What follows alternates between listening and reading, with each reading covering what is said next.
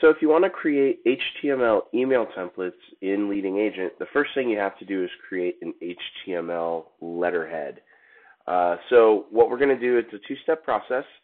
You want to uh, load your images in the Documents tab, and then you're going to want to create the actual letterhead.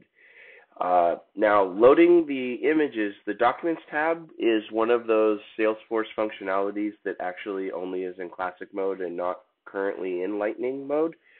So what you'll want to do to start with is you're going to click on your uh, icon with your little picture here, and we're going to choose Switch to Classic.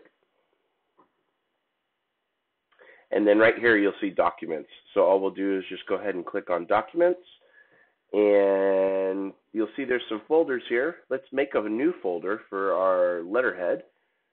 And so we'll just say create new folder, HTML letterhead is what we'll call it. And you want it to be read write.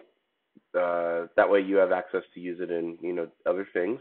And um, I would assume even if you're on a team, you'll make it accessible to all users.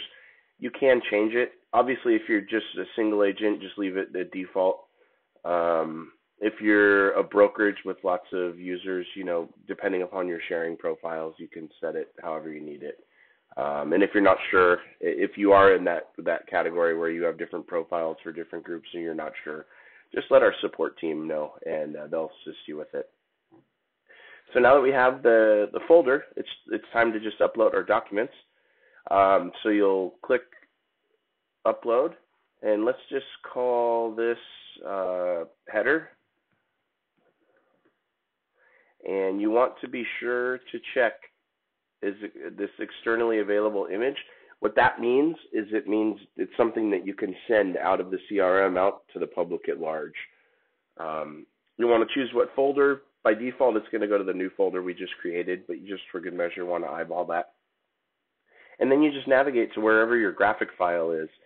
Now, the HTML letterhead, uh, when you design your letterhead, it can be any height, but the width that you want to design it is 450 pixels. That's the width of the HTML email templates that are in the system. So as long as you do it at 450, everything will be perfectly square and center on everything that you design.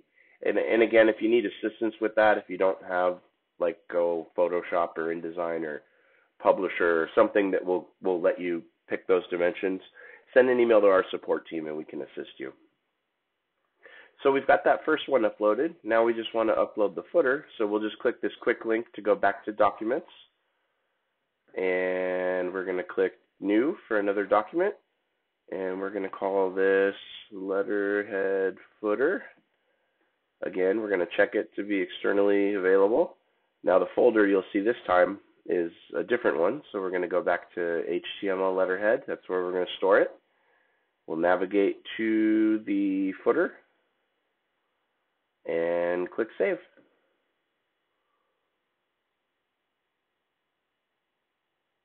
All right, so now we've got our header and footer.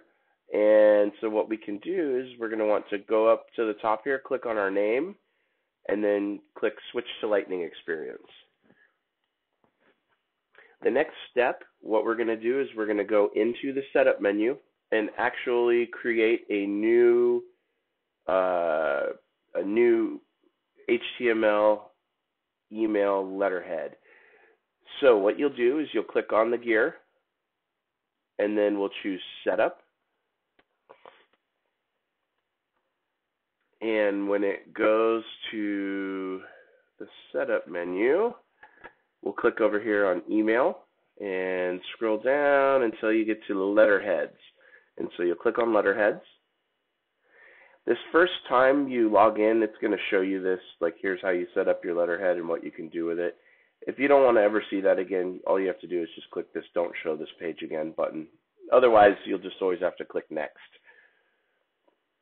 By default, our system, we have a blank uh, default letterhead that we use to uh, push in some already formatted HTML email templates for you. Um, so my recommendation do not alter or delete this because that'll actually impact your the different holiday emails we have. Um, the 33 touch to 8x8, you could go in and change the letterhead that they're assigned to, but don't don't do anything with this default one. What you're going to want to do instead is create a new one. So you just click new letterhead. We'll check that it's available for use, and we'll just call this, uh, I don't know, sample letterhead. Click Save. And now it's time to build. So you'll see here it's got a background color. If you don't want a background color, all you have to do is just click Edit, and you can choose, let's say, white. And so we choose white, and now there's no more. And then if we want to put the header in, we just click on Select Logo, and we're going to choose our folder, HTML letterhead and choose the header. And then we'll go down here likewise. And for the footer, we're going to select logo and we're going to choose footer. And so now you see that there's these lines here. Some people like them as a visual separator. I personally don't, and I like to get rid of them. So all you have to do is you just click the edit button for the particular line and you don't have to change the color. All you have to do is just say you want to make it zero pixels high. And there you go. Now it's gone. And you could do the same thing down here. And there you go. It's gone. So now you've got your header. Here's the where the body of your email will always go. And you've got your footer. And so all you have to do, if you want to preview it, you can just click preview. It's going to open in a new tab. And oops, there's a bottom line too. So if we want to get rid of that, no big deal. All we do is we go here to edit bottom line.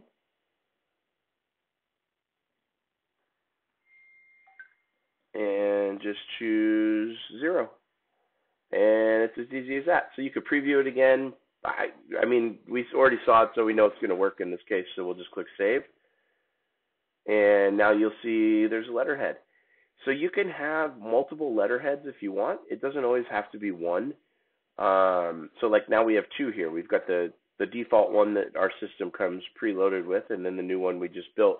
So you can make for different initiatives or whatever you're working on. You could have different letterheads or maybe different team members. Totally, totally possible. Uh, but that's how you make your letterhead.